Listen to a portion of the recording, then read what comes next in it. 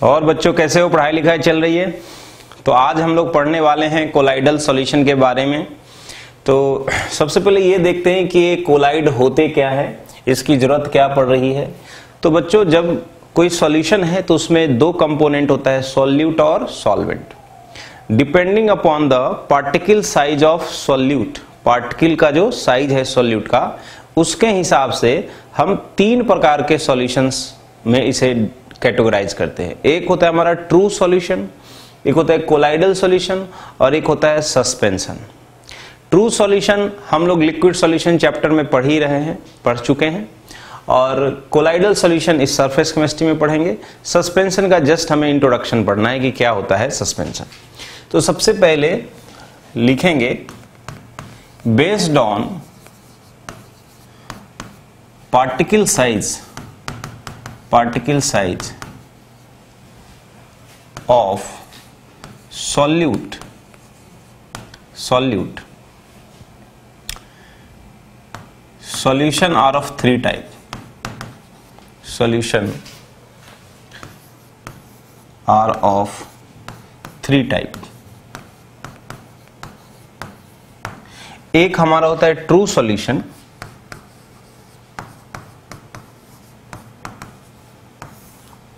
और एक होता है हमारा कोलाइडल सॉल्यूशन।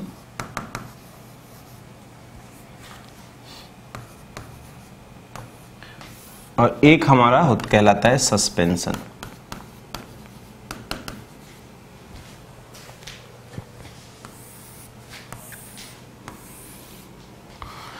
पार्टिकल के साइज़ के हिसाब से ट्रू सॉल्यूशन को वैसे क्रिस्टलॉइड भी बोलते। क्रिस्टलॉइड भी बोलते।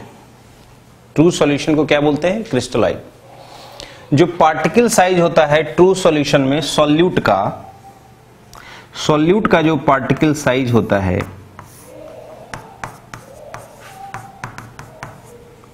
साइज़ उसका साइज़ जो होता है less than one nanometer one nanometer से छोटा होता है। और इसी का बड़ा भाई है, सबसे बड़ा भाई है सस्पेंशन, जिसमें पार्टिकल, सॉलिड पार्टिकल्स का जो साइज़ होता है ग्रेटर देन थाउज़ेंड नैनोमीटर एक हज़ार नैनोमीटर से भी बड़ा साइज़ होता है। और इसमें जो सॉल्यूट का पार्टिकल साइज़ है सॉल्यूट का जो पार्टिकल साइज़ है, वह वन नैनोमीटर से एक हज़ार नैनोमीटर के बीच रहता है। इंक्लूडिंग वन एंड थाउज़ेंड मतलब एक हज़ार नैनोमीटर भी है तो उसे हम कोलाइडल के ही कैटेगरी में रखेंगे। एक नैनोमीटर है तब भी से इसी में रखेंगे। एक नैनोमीटर से कम है तो ट्रू सॉल्यूशन एक हज़ार नैनोमीटर से ज़्यादा है तो सस्पेंशन ये किसकी साइज़ मैंने लिखी है? सॉल्यूट पार्टिकल का साइज़ ठीक है? एक लेकिन नोट करना है। जैसे ट्रू सॉल्यूशन में दो कंपोनेंट होते हैं, एक सॉल्यूट और एक सॉल्वेंट कोलाइडल के केस में सॉल्यूट पार्टिकल को हम डिस्पर्स्ड फ़ेज़ बोलते हैं। क्या बोलते हैं? डिस्पर्स्ड फ़ेज़ सॉलिड पार्टिकल को क्या बोलते हैं? डिस्पर्स्ड फ़ेज़ ऊपर अलग से लिख लेते हैं। नोट करके।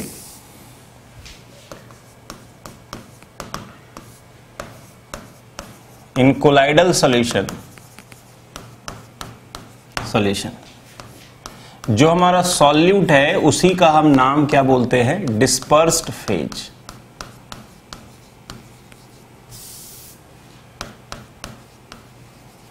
और जो सॉल्वेंट होता है, उसका नाम क्या बोलते हैं? डिस्पर्सन मीडियम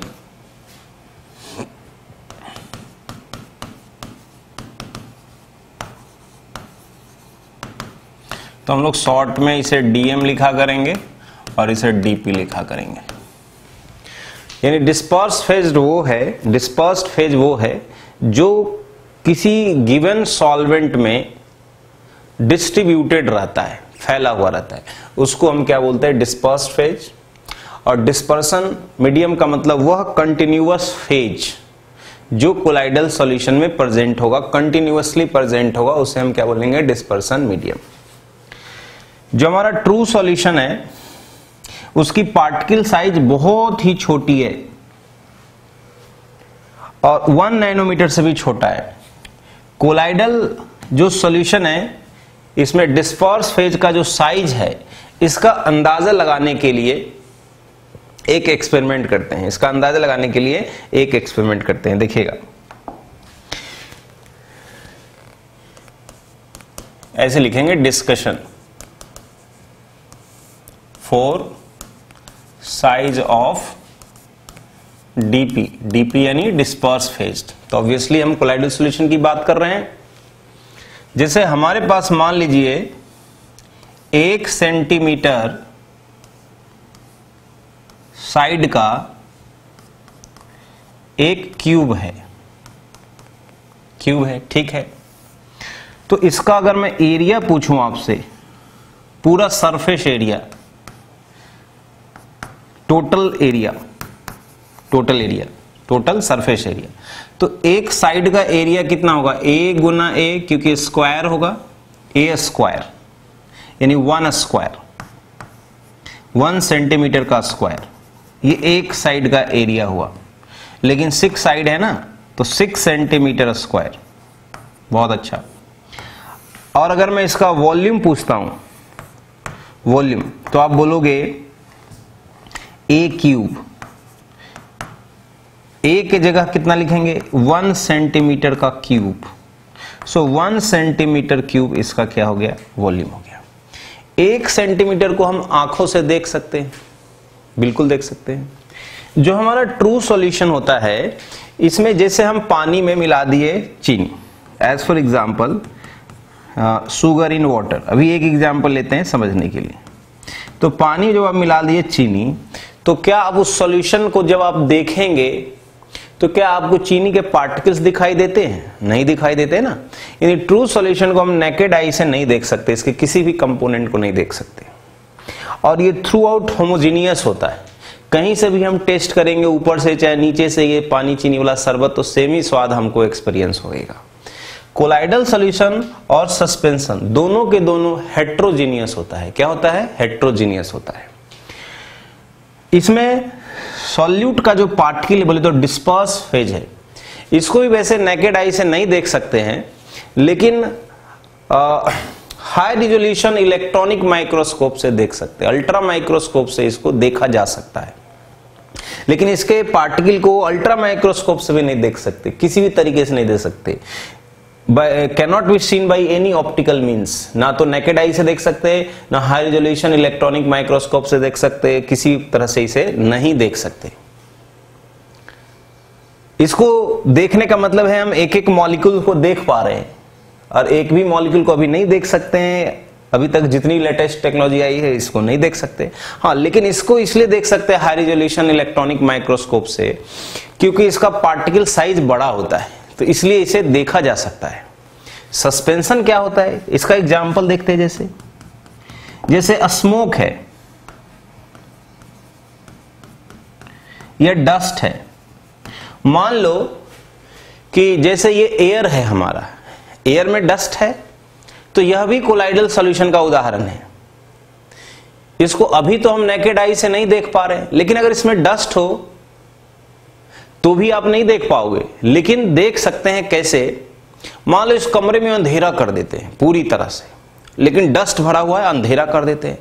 और ऊपर कोने से, छत से एक रोशनी आ रही हो, पतली सी, किसी छेद से रोशनी आ रही हो तो उस रोशनी में आपको डस्ट पार्टिकल तैरते हुए नज़र आएँगे। यानी आप आँखों से देख सकते हो, यदि एक पर्टिकुलर डायरेक्शन में लाइट उसके ऊपर फॉल करता है तो। यानी इसको हम देख भी सकते हैं बट ऐसे नहीं बोले कि सिंपली नेकेड आई से देख सकते हैं। ऐसे तो बोल सकते हैं कि स्पेशल एंगल से जो लाइट वगैरह फॉल करता है, उसे देख सकते हैं। सस्पेंशन क्या है हमारा? हाँ लेकिन इसे अल्ट्रा माइक्रोस्कोप से देख सकते हैं। ठीक है? सस्पेंशन क्या है? सस्पेंशन ये है, जैसे मान लो, हमारे पास चौक है, चौक। और उसको मैंने पूरा क्रश करके पाउडर बना दिया। और उस पाउडर को पाउडर चौक को मैंने पानी में डाल दिया। तो आप देखोगे थोड़ी देर के बाद वो चौक के जो पार्टिकल होंगे, पानी के नीचे सेटल हो जाएँगे। क्या हो जाएँगे? सेटल हो जाएँगे। यानी वो सेटल हो जाते हैं। इसी को बोलते हैं सस्पेंशन यानी ये सॉल्यूशन जो है स्टेबल नहीं है, नीचे सेटलिंग टेंडेंसी है। इसमें सेटल नहीं होता है। और भी उदाहरण है, जैसे मिल्क है अपने पास। डस्ट हो गया मिल्क हो गया, अभी तो बहुत एग्ज़ाम्पल पढ़ेंगे। क्या हम मिल्क को रख देते हैं तो उसके अंदर फैट सारा नीचे सेटल हो जाता है? नहीं। कब हो सकता है सेटल कर्ड भी इसका एग्ज़ाम्पल है। कब सेटल होता है? जब हम सेंट्रीफ्यूगल फोर्स लगाते हैं। जैसे आपने देखा होगा कृष्ण लीला में, मैया मरी, मैं नहीं माखन खाए हो तो उसमें माखन ऐसे निकालते हैं ना, दही में से। तो इसका मतलब सेंट्रीफ्यूगल फोर्स लगा रहे तो सेंट्रीफ्यूज करने से हम बटर को अलग कर सकते हैं फैट को अलग कर सकते हैं। सो so, नॉर्मली तो ये सेटल नहीं होते हैं लेकिन सेटलिंग हो सकते हैं जब सेंट्रीफ्यूज किया जाए तो सेपरेट कर सकते हैं इसके कंपोनेंट को। अभी इसके बारे में इन सब के बारे में डिफरेंस पे बात करेंगे। अभी पहले मैं ये एक पार्टिकल साइज़ के बारे में जरा डिस्कशन कर देता हूँ। जैसे इसमें एग्ज़ाम्पल ले सकते हैं। मान लो सॉइल है, मिट्टी है इन वाटर पानी में ले लें। तो ये धीरे धीरे क्या होगा? और उसको शेक कर दीजिए। शेक कीजिएगा तो जहाँ तहां आपको मिट्टी के पार्टिकल आँखों से दिख सकते हो आप आसानी से, है ना? तो ये हमारा क्या है? सस्पेंशन है। इसको छोड़ देंगे तो धीरे धीरे मिट्टी नीचे सेटल हो जाएगा। तो इसमें सेटलिंग टेंडेंसी होती है अंडर ग्रेविटी इसमें सेटलिंग टेंडेंसी नहीं होती अंडर ग्रेविटी ये सेंट्रीफ्यूज करेंगे जब सेटल हो सकता है। या सम स्पेशल टेक्निक से। जैसे दूध है, उसमें हमने इलेक्ट्रोलाइट डाल दिया, नींबू निचोड़ देते हैं तो दूध फट जाता है तो चीज़ें क्या हो गई, अलग हो गई, लेकिन ऐसे रखने पर ये सेटल नहीं होंगे। अच्छा ये तो सेटल नहीं होता है ना ग्रेविटी में, ना शेकिंग करने से ट्रू सॉल्यूशन अच्छा इसमें सॉइल वाला जो पार्टिकल है, इसका साइज़ क्या है? बहुत बड़ा है, जब तो हम देख पा रहे हैं, यानी थाउज़ेंड नैनोमीटर से भी ज़्यादा है। मिल्क के अंदर जो पार्टिकल है, जो फैट है, क्या आप उसको आँखों से देख पा रहे हो? नहीं देख पा रहे हो। एक एक पार्टिकल को देख पा रहे हो? नहीं देख पा रहे हो। लेकिन हाँ, उसे हम देख सकते हैं, अल्ट्रा माइक्रोस्कोप से देख सकते हैं।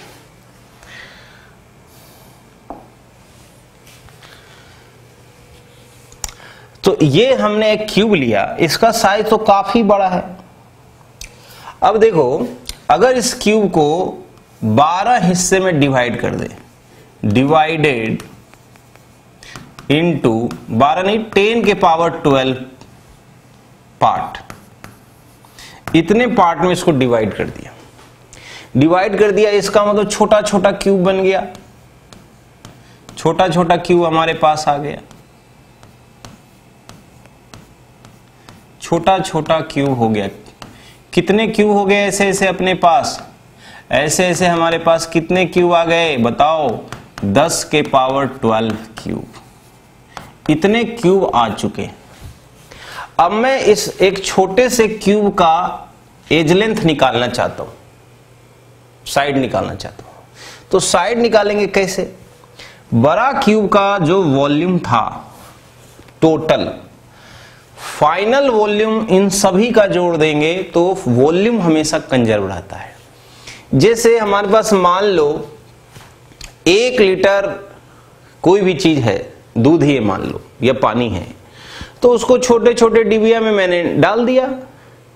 तो भी एक लीटर दूध था तो भले हमने 50 डिबिया में उसको डाल दिया, टोटल डिबिया में जो दूध है वो एक ही लीटर रहेगा, वॉल्यूम क्या रहेगा? कंजर्व रहेगा। तो हम क्या करेंगे, इसका वॉल्यूम और इसका वॉल्यूम बराबर कर देंगे, उससे हम ए निकाल लेंगे ए निकालेंगे देखिए तो इसका वॉल्यूम क्या होगा? ए क्यू तो हो गया एक क्यूब का ना वॉल्यूम। तो टोटल वॉल्यूम कितना होगा? ए क्यू गुना दस के पावर बारह। इतने क्यूब में आपने डिवाइड किया था। अभी मैंने जस्ट जानबूझ करके इतना लिया कि इतना पार्ट मान लो कि डिवाइड करते हैं। ठीक है? तो टोटल वॉल्यूम इतना हो गया। इस टोटल वॉल्यूम को मैं बराबर लिखूँगा ये मैंने माना है ए सेंटीमीटर कि इसका ए सेंटीमीटर एज लेंथ है तो टोटल वॉल्यूम की यूनिट हो गई इतना सेंटीमीटर क्यूब और ये बराबर होगा वन सेंटीमीटर क्यूब तो आप देख सकते हो कि ए क्यू की जो वैल्यू आएगी 10 के पावर माइनस बारह. सो ए की जो वैल्यू आएगी 10 के पावर माइनस चार सेंटीमीटर यानी कि इसका एक जो छोटका क्यूब है, उसका एज लेंथ कितना आया है? 10 के पावर माइनस चार सेंटीमीटर। 10 के पावर माइनस चार सेंटीमीटर। क्लियर है? अच्छा। ये जो छोटा एक क्यूब दिखा, ये एक्चुअली इसका जो डायमेंशन है कोलाइडल पार्टिकल के रेंज का है। ये तो बहुत बड़ा साइज़ लिया है। इसको तो हम आँखों से देख ही सकते हैं। लेकिन ये जब हम एक सेंटीमीटर वाले को 10 के पावर 12 हिस्सा कर दिए तो एक जो छोटा क्यूब बना है, ये हमारा कोलाइडल पार्टिकल के साइज़ का है डिस्पर्स फ़ेज़ के साइज़ का है, कोलाइडल रेंज का इसका डायमेंशन है। कैसे सर? देखिए ए इसका एज लेंथ इतना है, यानी मैं इसको लिख सकता हूँ 10 के पावर माइनस सिक्स मीटर। लिख सकता हूँ? Yes sir. क्या मैं उसको ऐसे लिख सकता हूँ? एक हज़ार गुना दस के पावर माइनस नाइन मीटर। क्या मैं इस चीज़ को ऐसे भी लिख सकता हूँ? भाई माइनस नाइन इधर एक हज़ार है तो ये इस, इसी चीज़ के बराबर है। ये और मैं इसे क्या नैनोमीटर बोल सकता हूँ? एक हज़ार नैनोमीटर का हो गया। इसका मतलब ये एक हज़ार नैनोमीटर एक पार्टिकल का डायमेंशन है एक पार्टिकल का डायमेंशन है। तो मैंने क्या बोला कि अगर एक हज़ार नैनोमीटर हो या थोड़ा बहुत उससे कम भी होता है एक नैनोमीटर से एक हज़ार के बीच तो कोलाइडल पार्टिकल के रेंज का है। कोलाइडल सॉल्यूशन के रेंज का उसका साइज़ है पार्टिकल का। सो so, अगर हम फील करना चाहते हैं तो जैसे एक सेंटीमीटर साइड का एक क्यूब है तो ये तो काफ़ी बड़ा है। इसको तो मैं देख ही सकता हूँ। इंच स्केल के ऊपर एक सेंटीमीटर, एक एम mm रहता है वो सब प्रिंटेड वो सब तो हम देख ही लेते उतनी डिस्टेंस को आसानी से देख सकते लेकिन इसको अगर 10 के पावर 12 हिस्सा कर दे तो ये जो छोटा चीज़ बचा है, इसको हम अपनी आँखों से नहीं देख सकते हैं, नहीं देख सकते, इसको हम अपनी आँखों से नहीं देख सकते हैं। हाँ लेकिन इसको अल्ट्रा माइक्रोस्कोप से देख सकते हैं, और इसका जो एज लेंथ आया, एक हज़ार नैनोमीटर आया। अच्छा इस पे एक छोटा सा क्वेश्चन भी बनता है कि अगर हमारे पास एक क्यूब है जिसकी एज लेंथ वन सेंटीमीटर है इसको अगर हम 10 के पावर 12 हिस्से में कन्वर्ट कर दे तो, तो जो हमारा क्यूब टोटल प्रोड्यूस होगा उसका टोटल सरफेस एरिया क्या होगा? टोटल वॉल्यूम तो सेम ही रहेगा जैसे एक सेंटीमीटर क्यूब तो फाइनल भी टोटल वॉल्यूम एक ही सेंटीमीटर क्यूब है। जब भी तो मैंने लिखा ए क्यूब गुना दस के पावर बारह। एक का मैंने एज लेंथ ए सेंटीमीटर माना था तो एक का वॉल्यूम ए क्यू हो गया तो टोटल का हो गया दस के बारह गुना ए क्यू, जो कि मैंने बराबर लिख दिया था एक सेंटीमीटर क्यू के। जब तो ए की वैल्यू मैंने निकाल डाली। अब मैं पूछता हूँ कि फाइनल टोटल एरिया क्या होगा।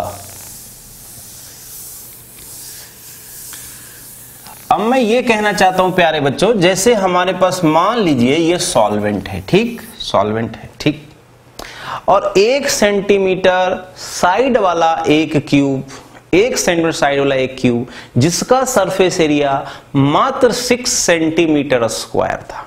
उसको अगर 10 के पावर 12 हिस्से में कन्वर्ट कर दें तो छोटे छोटे छोटे छोटे छोटे छोटे क्यूब अपने को ऐसे ऐसे क्यूब कितने मिल जाएँगे? 10 के पावर 12 क्यूब्स होंगे।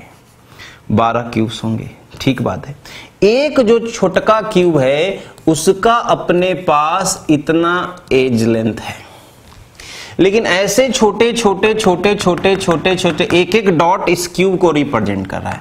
ऐसे छोटे छोटे छोटे छोटे जो हमारे पास क्यूब हैं, ऐसे छोटे छोटे क्यूब हैं, ऐसे छोटे छोटे क्यूब कितने हैं? 10 के पावर 12 है। ये डॉट जो रिप्रेजेंट कर रहा है डॉट रिप्रेजेंट कर रहा है इस क्यूब को।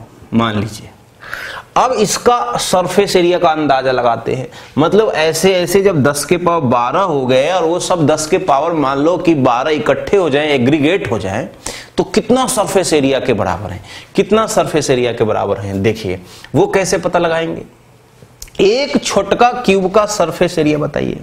Surface area of one small cube. Total surface area of one small cube. A square Guna six क्योंकि एक छोटे क्यूब में कितनी फेसेस होंगी? कितनी फेसेस होंगी? सिक्स ना फेस होंगी। सिक्स होंगी ना भाई। Right left top bottom front back अगुना एक साइड का एरिया तो ए तो है अपने पास 10 के पावर माइनस चार सेंटीमीटर का स्क्वायर और गुना सिक्स तो कितना हो गया? सिक्स गुना दस के पावर माइनस आठ सेंटीमीटर स्क्वायर ये एरिया तो हमारा एक छोटका क्यूब का आया है टोटल सरफेस एरिया एक छोटका क्यूब का। बट ऐसे ऐसे अपने पास दस के पावर बारह है। So now total surface area four such ten के पावर 12 क्यूब्स। इतने क्यूब्स के लिए क्या रखें? होगा। 10 के पावर 12 क्यूब तो यही हो गए। और एक क्यूब का एरिया है 6 गुना दस के पावर छ गुना दस के पावर माइनस आठ सेंटीमीटर स्क्वायर। तो आप देखोगे कि 6 गुना दस के पावर चार सेंटीमीटर स्क्वायर है। माइनस आठ है तो दस के पावर में चार आ जाएगा। दस के पावर में चार आ जाएगा। ये मैंने लिख लिया। यानी कि साठ हज़ार सेंटीमीटर स्क्वायर एक छो, जो क्यूब था अपने पास, एक जो क्यूब था अपने पास एक सेंटीमीटर जिसकी साइड थी, कितनी थी? वन सेंटीमीटर जिसकी साइड थी।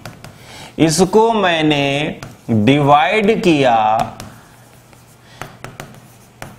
दस के पावर बारह पार्ट में। तो छोटे छोटे बहुत सारे क्यूब बन गए। कितने बन गए? इतना टाइम्स क्यूब बन गया हमारे पास। ठीक है? एक जो छोटका क्यूब है, इसका ए है 10 के पावर माइनस चार सेंटीमीटर। तो इसका टोटल एरिया है सिक्स गुना ए स्क्वायर। यानी सिक्स गुना दस के पावर माइनस आठ सेंटीमीटर स्क्वायर। ठीक? बट टोटल सरफेस एरिया जो होगा,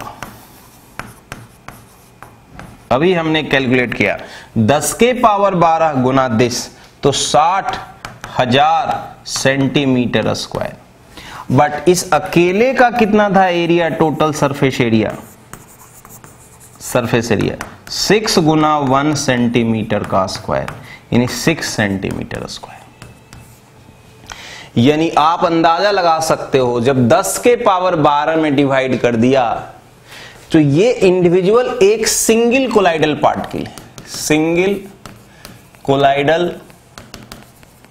पार्टिकल ऐसे ऐसे कितने हमने ले लिए? दस के पावर बारह ले लिए। बहुत ज़्यादा ले लिए।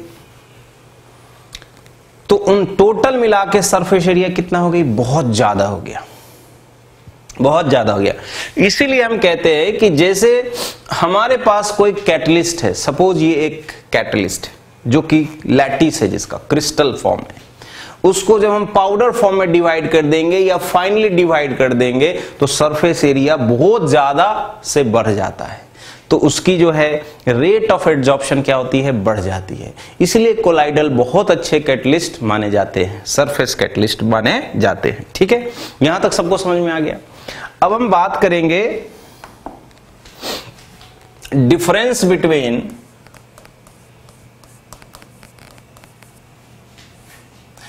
डिफरेंस अमंग लिख लेंगे, है ना? Among true solution colloidal solution and suspension इनमें अंतर क्या है? इनमें क्या अंतर है? तो तीन कॉलम आपको बनाना है। True solution colloidal solution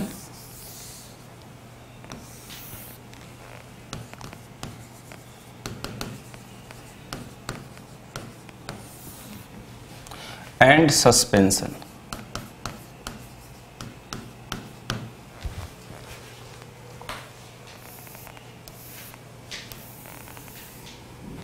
तो पहला जो हम देखेंगे डिफरेंस वो किस प्रॉपर्टी के हिसाब से देखेंगे? तो पहला हम देख लेते हैं पार्टिकल साइज़ क्या है।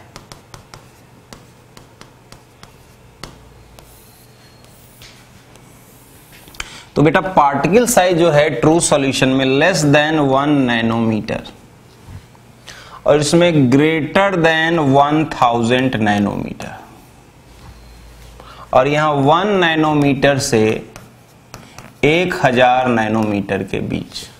वन नैनोमीटर से एक हज़ार नैनोमीटर के बीच। ठीक है?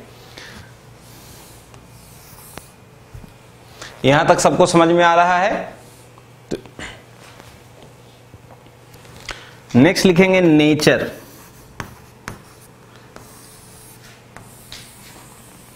ये हमारा नेचर इसका क्या है? होमोजीनियस है। और इसका नेचर क्या है? हेटरोजीनियस होता है। यह भी हमारा हेटरोजीनियस होता है। हेट्रोजीनियस क्लियर है? विजिबिलिटी थर्ड पॉइंट लिखेंगे विजिबिलिटी विजिबिलिटी में लिखेंगे cannot be seen seen by any optical means किसी भी ऑप्टिकल डिवाइस से हम इसे नहीं देख सकते नेक इसे नेकेड आई से भी नहीं देख सकते। नेकेड आई से तो इसे जनरली नहीं देख सकते। हाँ लेकिन लाइट के प्रेजेंस में इसको देख सकते हैं, जैसे मैंने स्मोक वाली बात बताई। तो इसलिए इसमें लिखेंगे can be seen under ultra microscope microscope से हम इसको देख सकते हैं। ठीक है?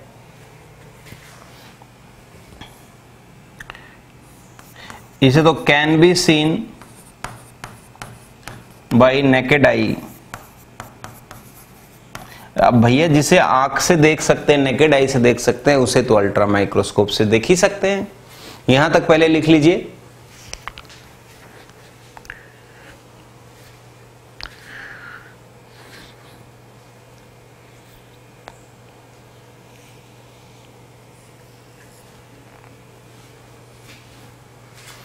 तो हमारा तीन डिफरेंस हो गया। नेक्स्ट हम लोग देखेंगे।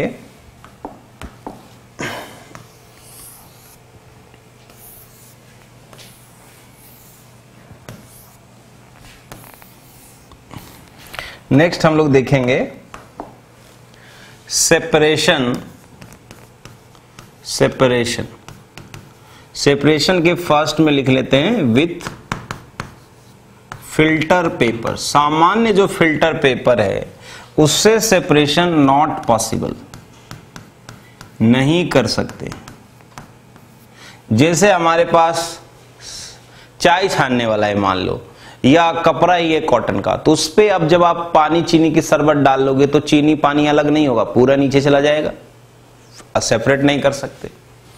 सिंपल फ़िल्टर पेपर से इसे भी छान नहीं सकते हैं सेपरेट नहीं कर सकते नॉट पॉसिबल अब इसे दूध है। तो चाय छानने वाले पे दूध गिराइए। तो पूरा नीचे आ जाएगा ना। सिंपल फ़िल्टर पेपर जो होता है, उसमें होल बड़ा होता है। तो उसकी जो साइज़ होती है सिंपल फ़िल्टर पेपर का ऑलमोस्ट लाइक like जैसे कि हम चाय छानने वाला होता है फ़िल्टर तो उसका साइज़ बड़ा होता है। उसमें उसका जो साइज़ है, उसके छेद को हम आँखों से भी देख पा रहे हैं। बट कोलाइडल पार्टिकल को तो आँखों से नहीं देख पा रहे। तो उसका साइज़ थोड़ा बड़ा है तो उससे कोलाइडल पार्टिकल क्या हो जाएगा? पार हो सकता है, ठीक है? तो कोलाइडल सॉल्यूशन को भी हम सिंपल फ़िल्टर पेपर से नहीं सेपरेट कर सकते। यहाँ पॉसिबल हो सकता है। यहाँ में भी पॉसिबल दूसरा हम लोग लिखेंगे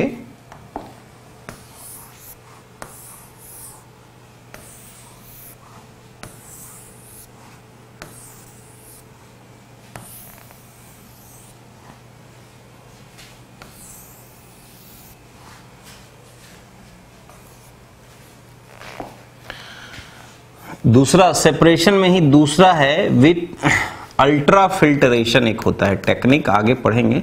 With ultra filtration ultra filtration ultra filtration technique से भी इस ट्रू सॉल्यूशन का हम सेपरेशन नहीं कर सकते बेटा। पानी, चीनी को सेपरेट करना होता तो अल्ट्रा फिल्ट्रेशन से ही कर लेते। लेकिन अगर करना है सेपरेट तो इसको बॉयल करके पानी को वेपोराइज करना पड़ेगा, तब चीनी नीचे सेटल हो जाएगा, बच जाएगा। तो इसे नहीं कर सकते।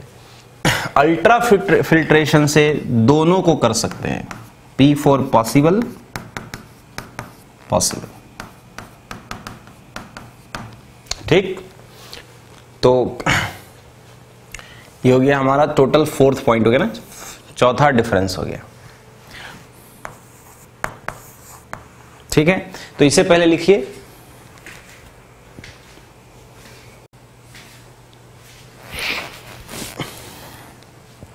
तो फोर्थ पॉइंट हो गया। फिफ्थ में हम लिखेंगे डिफ्यूजिबिलिटी यानी डिफ्यूजन डिफ्यूजन तो डिफ्यूजन में हमारा ये ये सॉल्यूशन को जब आप डिफ्यूज करोगे तो बहुत फास्ट डिफ्यूज होगा, फैलेगा। गिराएँगे तो बहुत तेज़ी से फैल जाएगा। तो वेरी रैपिडली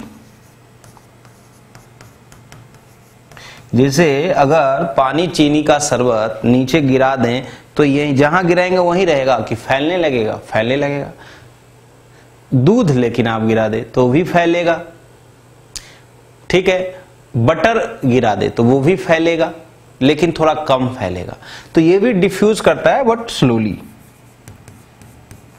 डिफ्यूज स्लोली हालाँकि डिपेंड करता है कौन सा कोलाइड है, उस हिसाब से डिफ्यूजन के रेट अलग अलग होंगे स्लोली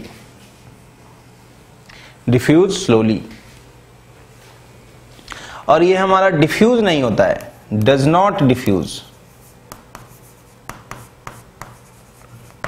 does not diffuse जैसे पानी में मिट्टी मिला हुआ है, अब उसको हम गिराएँगे तो पानी तो जाने लगेगा, लेकिन जो मिट्टी है वहीं पे जहाँ गिराएँगे, वहीं रहने लगेगा। वो अलग बात है, पानी के काइनेटिक एनर्जी की वजह से थोड़ा बहुत आगे खिसकेगा वो भी बट जनरली ये डिफ्यूजिंग टेंडेंसी नहीं है। छठा लिखेंगे settling settling does not settle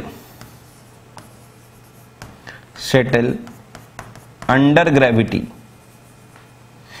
gravity मतलब पानी चीनी के सॉल्यूशन को या किसी भी ट्रू सॉल्यूशन को हम छोड़ दें तो नीचे सेटल नहीं होगा बॉटम में। ये भी नहीं होता है settle does not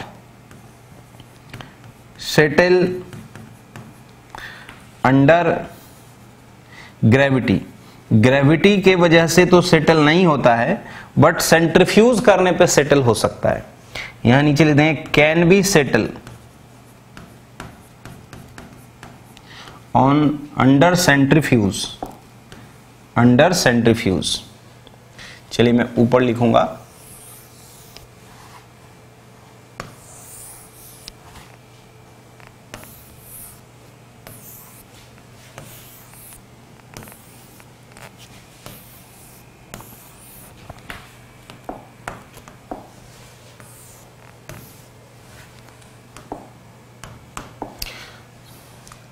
Can under centrifuge centrifuge या कई बार सेक करने पर भी सेकिंग करने पर। ऐसे कुछ कोलाइडल सोल्यूशन होता है जिसको सेक करने पर वो सेटल होने लगते हैं, या सेंट्रीफ्यूज करने पे सेटल हो जाते हैं। सस्पेंशन जो है settle under gravity settle under gravity settle under gravity ठीक है? तो हमारे पास सिक्स पॉइंट हो गए। सातवां पॉइंट देखते हैं। एक होता है टिंडल इफ़ेक्ट ये आगे पढ़ेंगे, अभी बस आपको लिखना है। Tyndall effect and Brownian movement Brownian movement ये पॉइंट खाली लिख लेना है आपको Brownian movement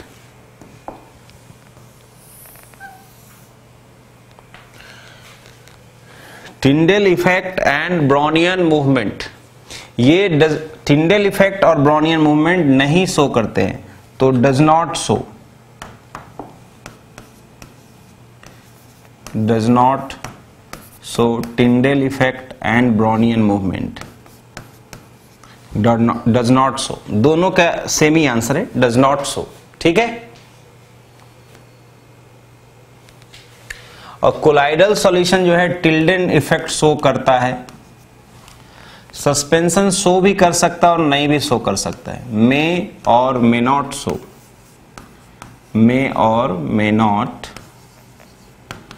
शो ठीक है?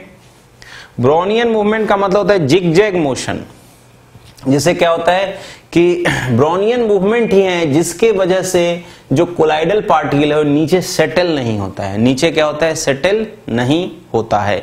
जैसे मिल्क है हमारा तो उसमें जो फैट वाला पार्टिकल होता है, उसको सॉल दूसरा फैट मॉलिक्यूल और सॉल्वेंट मॉलिक्यूल उसको क्या करते हैं? टकराते हैं उससे तो उसका जो मोशन होता है, कभी यहाँ गया, फिर यहाँ गया यहाँ गया, इसे जिगजैग पाथ को ही क्या बोलते हैं? ब्रोनियन मोशन वैसे डस्ट पार्टिकल है एयर में. तो डस्ट पार्टिकल क्या नीचे सेटल हो जाता है? नीचे सेटल हो जाता है, कुछ देर के बाद एयर अपने आप ही साफ़ हो जाएगा. तो वह भी क्या होते हैं? ब्रोनियन मोशन में रहते हैं. हाँ लेकिन पानी में हमारे पास मिट्टी के कण है. तो जब उसे शेक कर देंगे तब तक तो उसके अंदर थोड़ी बहुत ब्रॉनियन मोशन रहेगी। लेकिन ऑन स्टैंडिंग uh, वो मिट्टी के पार्टिकल जो होंगे या क्ले के पार्टिकल होंगे नीचे सेटल हो जाते हैं। ठीक है?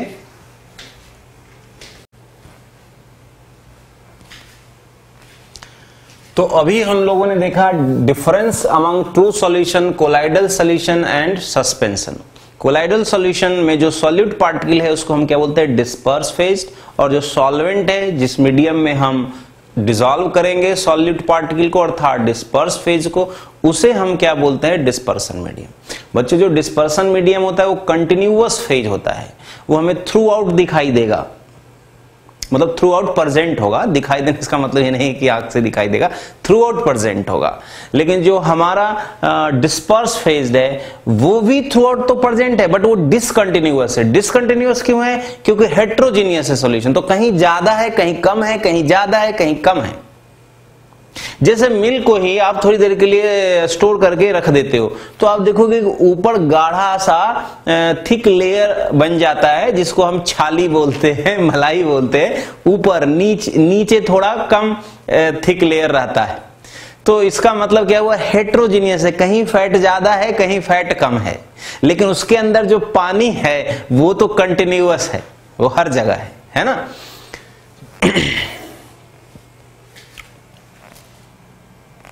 अब नेक्स्ट हम लोग देखेंगे type of colloidal solution types of colloidal solution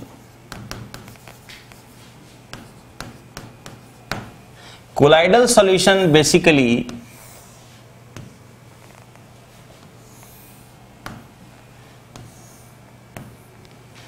तीन टाइप का होता है। और इसका जो क्लासिफिकेशन करते हैं बेस्ड ऑन पहला। ए ये हमारा हो गया बी और ये हमारा हो गया सी पहला जो टाइप है based on phase of phase of dispersed phase and dispersion medium उनका स्टेट क्या है? अवस्था क्या है? उनकी स्टेट क्या है? अवस्था क्या है? मतलब सॉलिड हैं लिक्विड हैं गैस है। इसके आधार पर ये आठ प्रकार के होते हैं। Eight types eight types eight types का होता है phase of disperse phase and dispersion medium के आधार पे। मतलब डिस्पर्स फ़ेज़ हमारा सॉलिड हो सकता है, लिक्विड हो सकता है, गैस हो सकता है। तो डिस्पर्स फ़ेज़ उसी तरह से डिस्पर्सन मीडियम भी हो सकता है सॉलिड लिक्विड गैस तो हम ऐसा कर सकते हैं कि डिस्पर्स फ़ेज़ यदि सॉलिड है तो डिस्पर्सन मीडियम हम सॉलिड लिक्विड और गैस ले सकते हैं। तो तीन टाइप तो यही हो गया। उधर से डिस्पर्स फ़ेज़ यदि लिक्विड है तो डिस्पर्शन मीडियम हम ले सकते हैं सॉलिड लिक्विड एंड गैस ये मैंने लिया है डिस्पर्स फ़ेज़ तो ये मैंने बोला डिस्पर्शन मीडियम ये मैंने लिया डिस्पर्स फ़ेज़ तो ये मैंने बोला डिस्पर्शन मीडियम तो सिक्स हो गए. अब अगर डिस्पर्स फ़ेज़ मैंने लिया है गैस गैस डिस्पर्स फ़ेज़ तो डिस्पर्शन मीडियम सॉलिड लिक्विड और गैस बट देखो, गैस और गैस जो होते हैं, आपस में किसी भी रेशियो में मिक्सअप हो जाते हैं और होमोजीनियस सॉल्यूशन होता है थ्रू आउट मिक्स हो जाते हैं। क्योंकि गैस एक गैस में दूसरे गैस का जो मिक्सचर है, वो होमोजीनियस है। और कोलाइडल सॉल्यूशन तो हेट्रोजीनियस है। इसलिए इसलिए गैस में गैस का मिलाना हमारा कोलाइडल सॉल्यूशन की कैटेगरी में नहीं आएगा। तो सिर्फ़ गैस जब हम डिस्पर्स फ़ेज़ लेते हैं तो डिस्पर्सन मीडियम दो ही प्रकार के हो सकते हैं सॉलिड या लिक्विड ट्रू सॉल्यूशन हमारा नाइन टाइप का होगा, क्योंकि ट्रू सॉल्यूशन होमोजीनियस होते हैं तो ट्रू सॉल्यूशन में हम सॉल्यूट और इधर बोलेंगे सॉल्वेंट सॉल्यूट इधर बोलेंगे सॉल्वेंट सॉल्यूट इधर बोलेंगे सॉल्वेंट और सॉल्वेंट हम गैस ले सकते हैं सॉल्यूट भी गैस ले सकते हैं। तो ट्रू सॉल्यूशन नाइन टाइप के होते हैं बेस्ड ऑन फ़ेज़ लेकिन जो हमारा कोलाइडल सॉल्यूशन होता है based on phase of disperse phase and dispersion medium total आठ प्रकार का ही होता है, तीन तीन, छह, सात और आठ। यहाँ तक क्लियर हो गया सबको? अब हम लोग जो दूसरा बेस्ड है बेस्ड ऑन बी जो टाइप है based on interaction. Interaction of dp and dm dp और dm के बीच जो इंटरेक्शन है अट्रैक्शन चाहे रिपल्सन उसके आधार पे जो क्लासिफिकेशन है, उसको मैंने बी टाइप बोला। ये बेसिकली दो प्रकार के होते हैं। कितने प्रकार के होते हैं? दो। एक होता है lyophilic sol lyophilic, sol sol for solution, और एक है lyophobic. Lyophilic, lyophobic. Phobic. Lyophilic, lyophobic sol. अभी वैसे सोल के बारे में हम बात करेंगे। सोल का और भी मतलब है। अभी रहने देते हैं। लायोफिलिक सोल और लायोफोबिक सोल। दो तरह का होता है। ठीक है? तीसरा जो है बेस्ड है बेस्ड है based on particle size particle size of DP disperse phase के पार्टिकल की साइज़ कैसी है?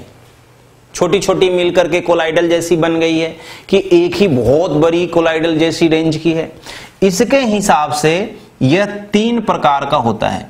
मैं ऊपर लिख देता हूँ, तीन प्रकार का होता है। कितने प्रकार का होता है? तीन प्रकार का। एक हमारा है macromolecular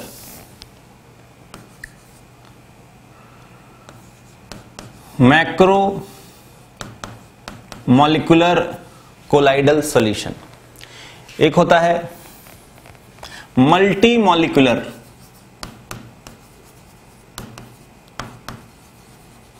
और एक होता है associated colloid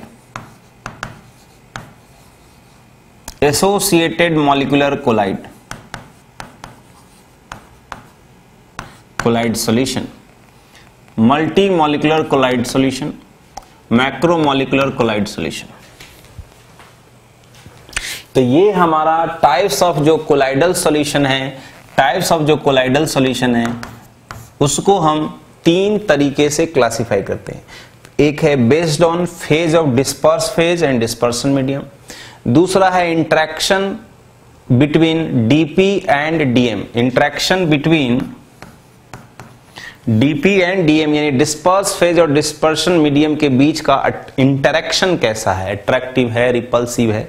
जैसे लायोफिलिक फिलिक का मतलब होता है लव यानी सॉल्वेंट से लव करता है। सॉल्वेंट लविंग और ये सॉल्वेंट हिटिंग ये है हमारा सॉल्वेंट लविंग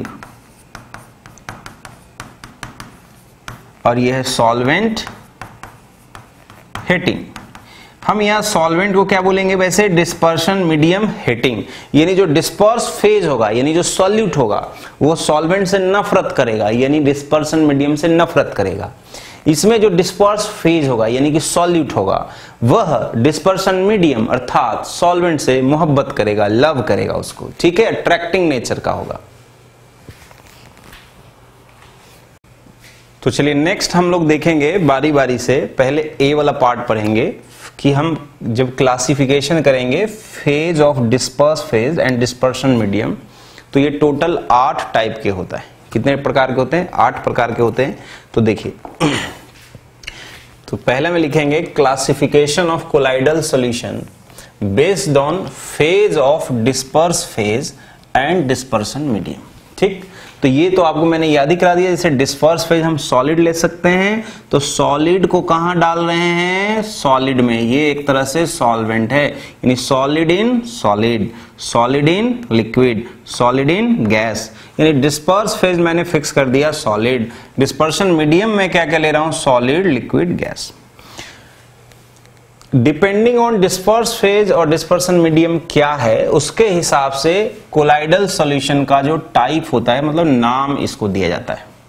इसको हम बोलते हैं, जब सॉलिड को सॉलिड में डालेंगे तो इसको बोलेंगे हम सॉलिड सोल क्या बोलेंगे? सॉलिड सोल ठीक है? सॉलिड सोल के उदाहरण क्या क्या हैं जैसे जेम स्टोन जेम स्टोन जैसे बहुत सारी कीमती पत्थर होती है ना जेम स्टोन या कलर्ड ग्लासेस होते हैं, ये एलॉय होता है, जैसे गोल्ड में हमने कॉपर मिलाया तो ये एलॉय हो गया। एलॉय भी हमारा किसका उदाहरण है? सॉलिड इन सॉलिड ये जितने भी एलॉय हैं, या कलर्ड ग्लासेस हैं, ये जेम स्टोन है। ठीक है? तो कलर जो ग्लासेस होते हैं, हर जगह एक ही जैसा कलर नहीं, कहीं अलग ग्रीन है, कहीं मान लो रेड है जैसे मैं इसको आपको जरा इमेज से दिखाता हूँ, आपको अच्छे समझ में आएगा। ये हमारा कलर्ड ग्लासेस है। ठीक है? कलर्ड ग्लासेस है। ठीक है? ये हमारा जेम स्टोन है। तो आपको इसमें एक ट्रांसपेरेंट जैसी एक चीज़ दिख रही होगी सब तरफ़ और एक तरफ़ रेड जैसा आपको दिखाई दे रहा है। तो जो रेड वाला पाथ है, वो डिस्पर्स फेज्ड है, जो कि एक ट्रांसपेरेंट डिस्पर्शन मीडियम के अंदर पड़ा हुआ है। तो ये जेम स्टोन जो है, दो सॉलिड का मिक्सचर है हेट्रोजीनियस मिक्सचर होता है। कहीं होमोजीनियस नहीं दिख रहा है। होमोजीनियस होता तो हर जगह एक ही जैसा दिखता। अलग अलग एंगल से देखने पे अलग अलग आपको थोड़ी बहुत कहीं डार्क रेड दिख रहा है, कहीं कम रेडनेस दिख रहा है। तो ये हमारा जो है जेम स्टोन और ये है कलर्ड ग्लास ठीक? तो ये पहला हमारा हो गया टाइप वैसे सेकेंड है, जब हम सॉलिड को डालते हैं लिक्विड में। तो सॉलिड को लिक्विड में डालते हैं तो उसे हम क्या बोलते हैं? सोल सबसे ज़्यादा इंपॉर्टेंट यही है, क्योंकि ज़्यादातर लाइफ में हम लिक्विड वाला ही सोल ज़्यादातर लिक्विड वाले सोल से हम टकराते हैं। डेली लाइफ में हमें लिक्विड सोल ज़्यादा देखने को मिलता है। लिक्विड में जब हम सॉलिड डालेंगे तो उसको सीधे क्या बोलते हैं? सोल बोलते हैं। जैसे पेंट हो गया। या ब्लड सेल है तो उसके अंदर फ्लूड होते हैं ना तो इसलिए हम फ्लूड सेल हो गया, या बहुत सारे सेल्स के अंदर जो फ्लूड होते हैं फ्लूड सेल क्या होता है हमारा? लिक्विड के अंदर सॉलिड कंपोनेंट होते हैं। लिक्विड के अंदर क्या होते हैं? सॉलिड होते हैं। कोलाइडल गोल्ड होता है। कोलाइडल जो गोल्ड होता है पर्टिकुलर लिक्विड सॉल्वेंट में गोल्ड को हम क्या करते हैं? डिजोल्व करा देते हैं। तो ये हमारा कोलाइडल गोल्ड कहलाता है। रेड कलर का होता है। ठीक है? तो ये हो गया हमारा पेंट जैसे देखिए पेंट हमारे पास है, ये हमारा पेंट है। तो ये जो पेंट है हमारा, ये क्या चीज़ होता है? सॉलिड होता है पेंट का जो पाउडर होता है, वो किसमें मिलाया हुआ है? लिक्विड में। तो solid solid in a liquid ठीक है? तो पेंट हो गया। नेक्स्ट हम देखेंगे। तीसरा टाइप है सॉलिड कहा? गैस के अंदर। तो जैसे आप देखो स्मोक देखो, या एयर जिसमें कि डस्ट भरा हुआ है तो गैस में क्या है? सॉलिड के डस्ट पार्टिकल हैं, या स्मोक है, या सूट इन एयर, जैसे चिमनी चिमनी भट्ठा होता है ना, जहाँ ईंट वगैरह पकाते हैं तो उसके ऊपर से जो सूट निकल रहा होता है, काला धुआँ तो वो एक तरह से उसमें धुएँ में, यानी कि गैस के अंदर, गैस के अंदर क्या है? सॉलिड पार्टिकल्स होते हैं। तो इसे हम एरोसोल बोलते हैं। एरोसोल का मतलब गैस के अंदर कोई सॉलिड है। तो ये नाम आपको ध्यान रखना होगा, ठीक? और ये सब एग्ज़ाम्पल ध्यान रखना है। कम से कम ये सब एग्ज़ाम्पल आपको याद रखना है कि ये एग्ज़ाम्पल होते हैं। नेक्स्ट हम बात करेंगे लिक्विड को सॉलिड के अंदर लिक्विड को लिक्विड के अंदर और लिक्विड को गैस के अंदर। तो हम देखेंगे कि जेल किसको बोलते हैं? जब सॉलिड के अंदर हम लिक्विड मिला दें। सॉलिड के अंदर हम क्या मिला दें? लिक्विड सॉलिड के अंदर जब हम लिक्विड मिला देंगे तो जो सॉल्यूशन तैयार होगा हेट्रोजीनियस होगा, उसे हम क्या बोलते हैं? जेल बोलते हैं। जैसे चीज़ हमारा होता है जेली होता है बूट पॉलिश होता है। बूट पॉलिश क्या होता है? सॉलिड पाउडर होता है। कलर उसके अंदर हम क्या मिला देते हैं? लिक्विड केमिकल्स मिला देते हैं। उसको हम क्या बोलते हैं? बूट पॉलिश ठीक? लिक्विड को जब हम लिक्विड में मिलाते हैं तो उसे बोलते हैं इमल्सन। जैसे मान लो पानी के अंदर तेल मिला दीजिए और उसको शेक कर दीजिए तो जो बना, उसको हम क्या बोलेंगे? इमल्सन बोलेंगे। या पानी के अंदर आपने तेल मिलाया, यानी कि पानी ज़्यादा लिया, तेल कम लिया तो हम बोलेंगे ऑयल है इन वाटर ऑयल है इन वाटर ये इमल्सन हुआ। या हम ऐसे भी कर सकते हैं, तेल ज़्यादा ले लें, पानी कम लें तो हम बोलेंगे कि वाटर इन ऑयल इसको भी चेक कर लीजिए। तो यह भी हमारा क्या कहलाता है? इमल्सन कहलाता है। तो इमल्सन होता है लिक्विड में जब हम लिक्विड मिलाते हैं, जैसे मिल्क हमारा इमल्सन है, हेयर क्रीम हमारा इमल्सन है। ये सब हमारा कोलाइडल सॉल्यूशन है। कोलाइडल सॉल्यूशन की टाइप है। तो मिल्क हमारा क्या है? इमल्सन है। हेयर क्रीम जो बालों में लगाते हैं, जे टाइट करने के लिए बाल को, है ना, सेट करने के लिए हेयर क्रीम। बटर हमारा क्या है? इमल्सन है। कोल्ड क्रीम भी हमारा क्या है? इमल्सन उसी तरह से गैस के अंदर क्या हो? लिक्विड हो। इसे भी एरोसोल बोलते हैं। तो एरोसोल दो जगह आ गया। गैस के अंदर सॉलिड हो, चाहे गैस के अंदर लिक्विड हो, उसे हम क्या बोलते हैं? एरोसोल बोलते हैं। ठीक है? गैस के अंदर, गैस के अंदर सॉलिड हो, चाहे गैस के अंदर लिक्विड हो, उसे हम क्या बोलते हैं? उसे हम क्या बोलते हैं? एरोसोल बोलते हैं। गैस के अंदर लिक्विड का उदाहरण क्या होगा? जैसे फॉग होता है। फॉग आपने देखा होगा जारे के मौसम में। तो उसमें क्या होता है? गैस होते हैं मेनली तो उसके अंदर वाटर के ड्रॉपलेट्स जहाँ तहां रहते हैं फ्लोट कर रहे होते। तो फॉग हो गया मिस्ट हो गया क्लाउड भी क्या है? गैस के अंदर क्या होता है? लिक्विड होता है। या इंसेक्टिसाइड स्प्रे होता है। मच्छर मारने वाली जो स्प्रे होती है, वो हमारा क्या होता है? बेसिकली गैस जैसा होता है, उसके अंदर लिक्विड के ड्रॉपलेट्स होते हैं। Gas in solid gas in solid इसको हम सॉलिड सोल बोलेंगे। सॉलिड सोल एक जगह और आ गया। सॉलिड सोल कब बोलते हैं? जब सॉलिड के अंदर सॉलिड हो, तब सॉलिड सोल बोलते हैं। चाहे सॉलिड के अंदर गैस हो, तब हम क्या बोलेंगे? Solid sol. जैसे pumice stone pumice stone cork हो गया, या फोम रबर हो गया, या ब्रेड हो गया। ब्रेड होता है ना, सुबह सुबह मॉर्निंग में ब्रेड, नाश्ता ब्रेड लेते हैं तो ब्रेड बहुत स्पंजी होता है फ्लफी होता है। उसमें छोटे छोटे छोटे छोटे पोरस होल्स होते हैं तो उसमें हवा भरी हुई होती है ना गैस उसमें बढ़ जाता है। तो ब्रेड हमारा क्या हो गया? सॉलिड के अंदर गैस या प्यूमाइस स्टोन क्या हो गया? देखिए, ये हमारा प्यूमाइस स्टोन है। इससे जैसे हम मैल वगैरह छुड़ाते हैं तो इसमें छोटे छोटे छोटे छोटे जो छिद्र हैं, उसमें गैस भरा होता है। ये हमारा है प्यूमाइस स्टोन प्यूमाइस स्टोन ठीक है? फोम ये हमारा देखिए फोम है।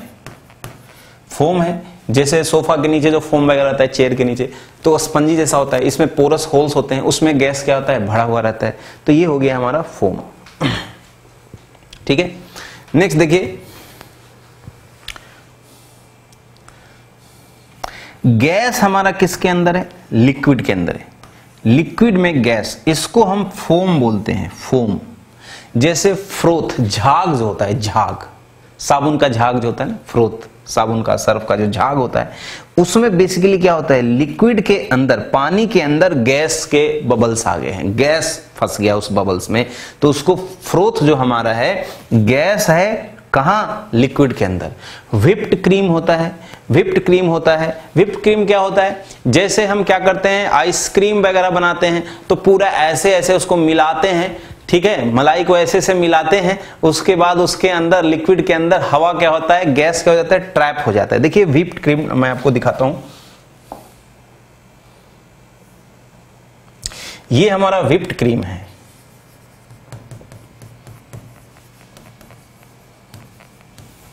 ठीक है?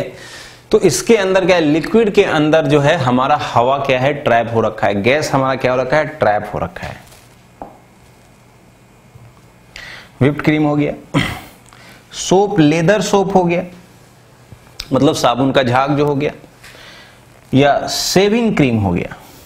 सेविंग क्रीम जब हम सेविंग करते हैं तो जो झाग प्रोड्यूस होता है तो वो भी हमारा जो हो गया सेविंग क्रीम भी जो हमारा होता है, वो हमारा क्या होता है? Gas in liquid. Shaving cream, ये कौन सी सेविंग क्रीम की बात कर रहे हैं हम लोग? जिलेट का एक फोम वाला सेविंग क्रीम आता है कि वो रेडीमेड होता है, हाथ पे लगा लीजिए फोम और बढ़िया से बियर्ड पे लगा लीजिए और सीधे डायरेक्ट सेविंग कर लीजिए। ब्रश से मिलाने की ज़रूरत नहीं है।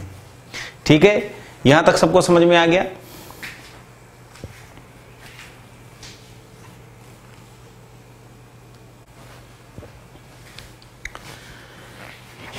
तो ये था हमारा types of colloidal solution based on phase of disperse phase and dispersion medium next हम लोग देखेंगे कि बेटा जब हम सॉलिड को मिलाते हैं, किसी लिक्विड में सॉलिड को जब हम मिलाते हैं किसी लिक्विड में तो उसे हम क्या बोलते हैं? सीधे सीधे बोलते हैं सोल। और जब हम लिक्विड को मिलाते हैं, इन लिक्विड तो उसे हम क्या बोलते हैं? इमल्शन। तो हमारा कोर्स में ये दो चीज़ पढ़ना है। लेकिन इसका उल्टा, अगर मैं लिक्विड को मिलाता हूँ, इन सॉलिड इसे हम क्या बोलते हैं? जेल। जेल के बारे में हमें ज़्यादा डिटेल से पढ़ना नहीं है। मेनली हमें इन दो चीज़ों के बारे में पढ़ना है और सबसे ज़्यादा हमारा ये इंपॉर्टेंट है। इमल्सन सबसे लास्ट में पढ़ेंगे। यानी क्योंकि ज़्यादातर जो सॉल्वेंट हमारा है, यानी डिस्पर्सन मीडियम जो हमारा है, वो लिक्विड है और ये डिस्पर्स फेज्ड तो हमारा मेन जो पूरा चैप्टर है, इसी सेक्शन के ऊपर डिवोटेड रहेगा। और थोड़ा सा इमल्सन के बारे में हम लोग पढ़ेंगे। वो भी दो तरह का पढ़ेंगे water in oil and oil in water only दो ही तरह का इमल्सन हमें पढ़ना है। तो अब जो हमारा कोर्स है, उसका रेस्ट्रिक्शन है, सिर्फ़ ये वाला मेनली डिटेल से हमें पढ़ना है। अच्छा। तो इसका मतलब सोल के अंदर सोल्स जो हैं, उसके अंदर दो कंपोनेंट हो गए। डिस्पर्स फ़ेज़ हो गया डिस्पर्शन मीडियम हो गया। डिस्पर्शन मीडियम हमें कौन सा? सोल का मतलब ही हुआ डिस्पर्शन मीडियम का फ़ेज़ क्या होगा लिक्विड डिस्पर्स फ़ेज़ जो है, उसका फ़ेज़ क्या है? सॉलिड है, यानी solid in liquid solid in liquid ठीक? अब, यदि हमारा लिक्विड वाटर लेते हैं वाटर देन सोल को हम बोलते हैं हाइड्रोसोल या हाइड्रासोल, चाहे एक्वासोल। तो सोल का नाम हम बोल देते हैं हाइड्रासोल चाहे एक्वासोल। अगर हम लिक्विड अल्कोहल लेते हैं देन सोल को हम बोल देते हैं अल्कोसोल। अल्कोसोल। यानी अल्कोसोल का मतलब हुआ कि लिक्विड हमारा अल्कोहल है, जिसमें डिस्पर्स फ़ेज़ कोई स्पेसिफिक सॉलिड डाला होगा हम लोगों ने। ठीक? अब, चूँकि हमने क्लासिफिकेशन तीन तरीके से किया था कोलाइडल सॉल्यूशन को। पहला आधार क्या था?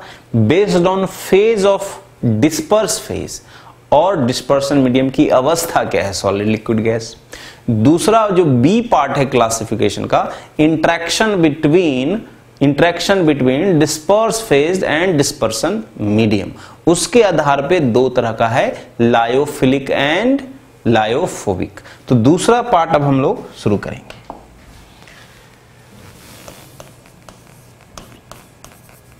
Classification of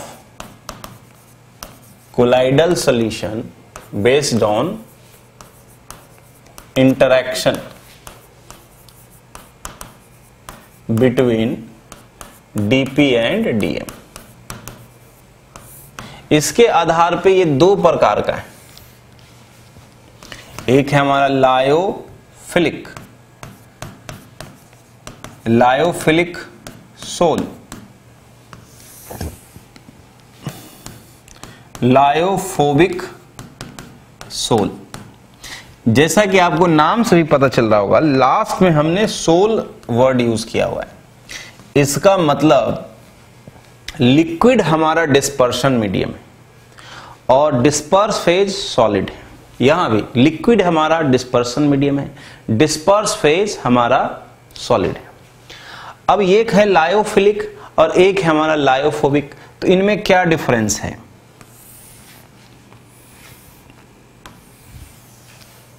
पहला पॉइंट तो ये लिखेंगे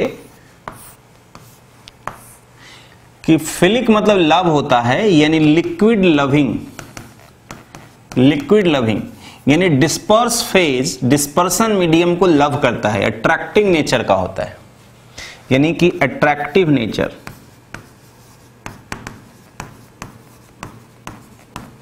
और इसमें फ़र्स्ट पॉइंट में हम लिखेंगे लिक्विड हेटिंग या रिपल्सिव नेचर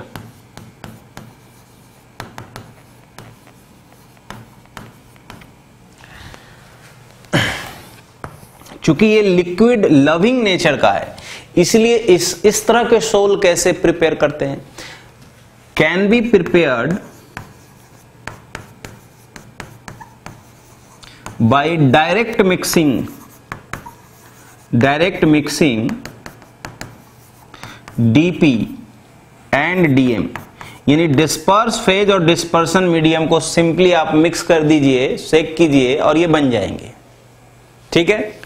जैसे एग्ज़ाम्पल के तौर पे ऑर्गेनिक सोल जितने भी होते हैं, जिसमें कि ऑर्गेनिक मॉलिकुल्स होंगे like a starch in water starch का जो सोल होगा, जैसे प्रोटीन इन वाटर गम होता है, जेलाटीन, या रबर हो गया। कुछ मानव निर्मित भी है, प्लास्टिक जैसे नाइलॉन हो गया।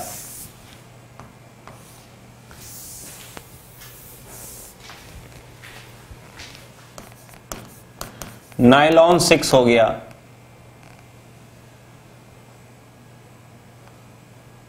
ब्यूनास हो गया, इत्यादि। जितने पोलीमर हैं एक तरह से इन शॉर्ट आप कह सकते हो याद रखने के लिए।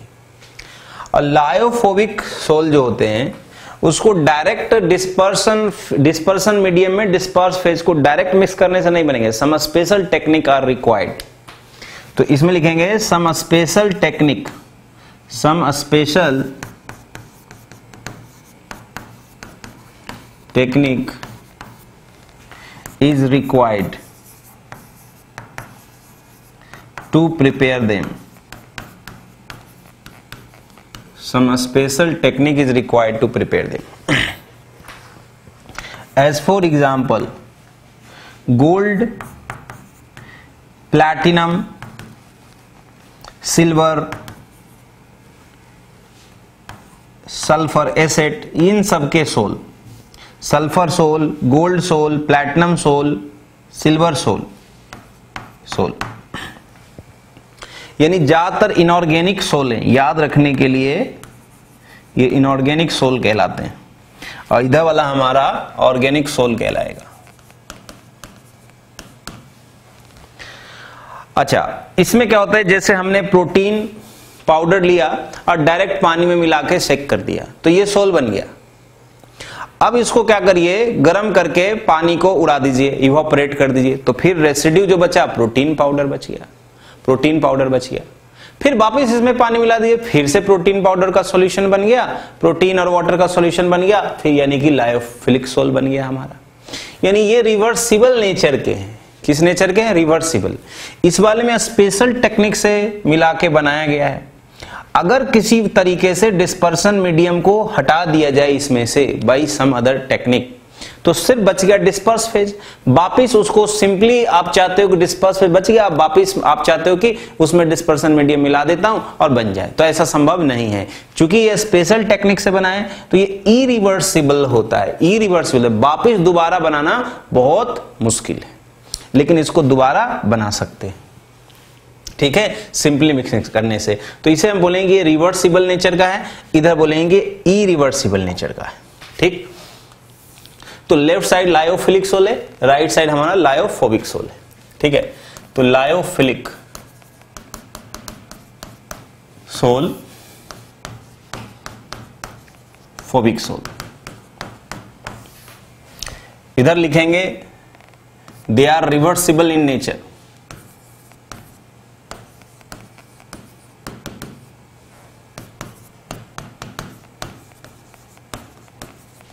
ये हमारा इरिवर्सिबल है।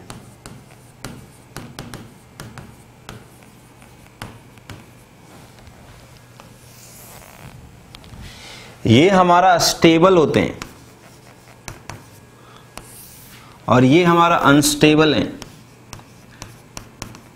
अनस्टेबल है। स्टेबलाइज करने के लिए some other special stabilising agent is required for stability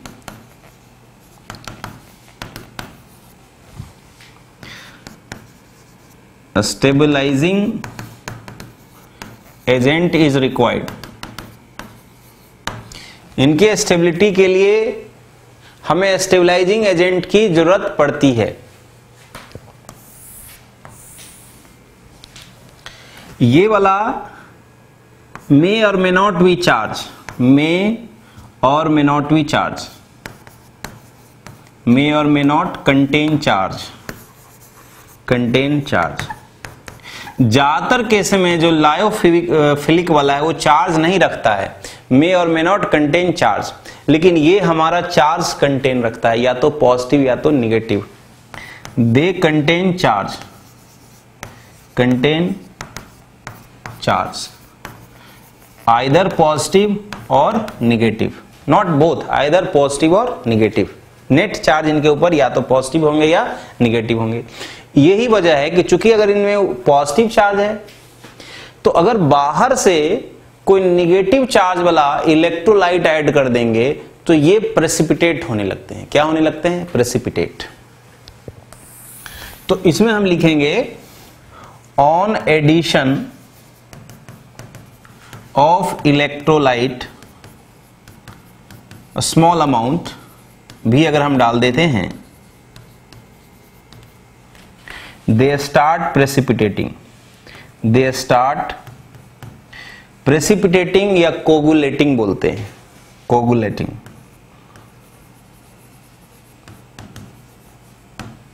coagulating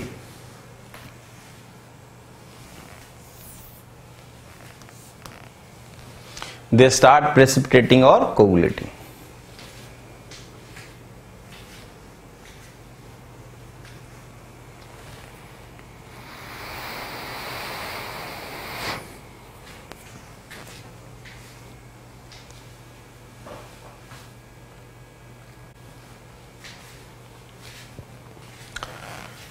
और इस केस में not easily coagulated not easily coagulated और precipitated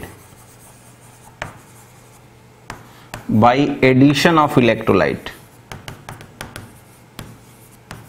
इसमें इलेक्ट्रोलाइट डालेंगे तो इतना आसानी से इनका प्रेसिपिटेशन नहीं होगा, अर्थात ये स्टेबल ज़्यादा हैं, ये कम स्टेबल है।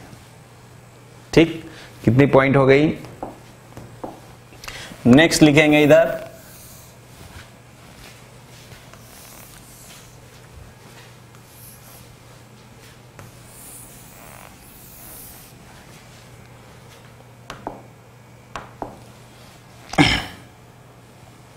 इसमें viscosity viscosity of sol is high viscosity high होता है। Viscosity of sol is higher than dispersion medium.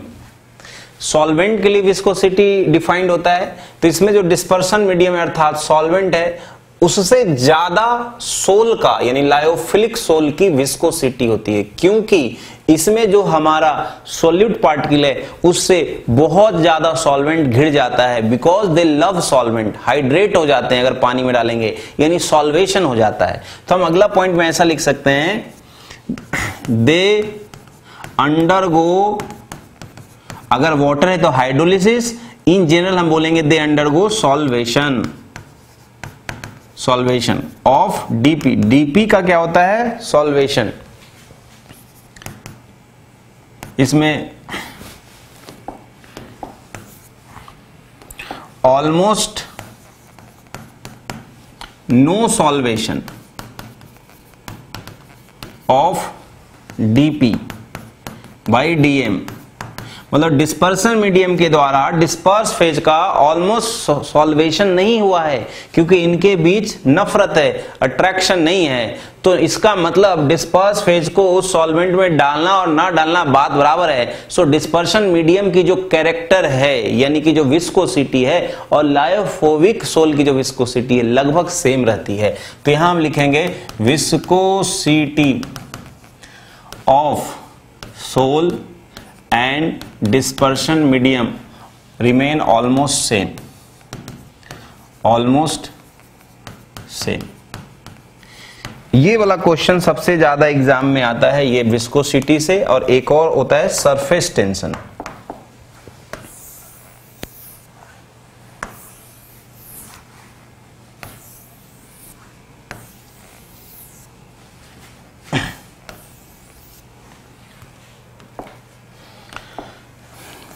देखिए, चूँकि इस वाले केस में जो हमारा डिस्पर्शन मीडियम है, वो हमारा सॉल्यूट से के चारों तरफ़ घिर गया है तो जो इसका सरफेस टेंशन है surface tension surface tension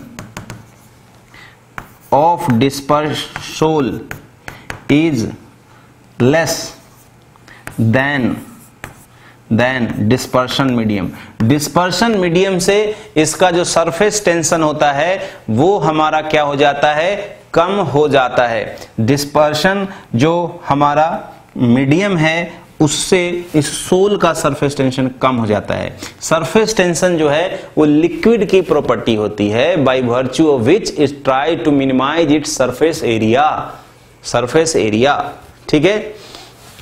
इसमें जो सरफेस टेंशन है, इसे बस याद ही रख लो। Surface tension surface tension of sol is almost equal to surface tension of, surface tension of dispersion medium surface tension of dispersion medium ठीक? तो ये दो पॉइंट आपको याद ही रखना है सरफेस टेंशन वाला और विस्कोसिटी वाला। तो ये था हमारा लायोफिलिक सोल और लायोफोबिक सोल के बारे में। तो आज का लेक्चर यहीं तक। नेक्स्ट हम लोग क्लासिफिकेशन देखेंगे based on particle of disperse phase तीन प्रकार के होते हैं। Macromolecular colloidal sol multi molecular colloidal sol और एसोसिएटेड कोलाइडल सोल ठीक? थोड़ा बहुत कोलाइडल वाले में रटने जैसा है तो इसे एक दो बार पढ़ के याद रखने की कोशिश करें। ठीक?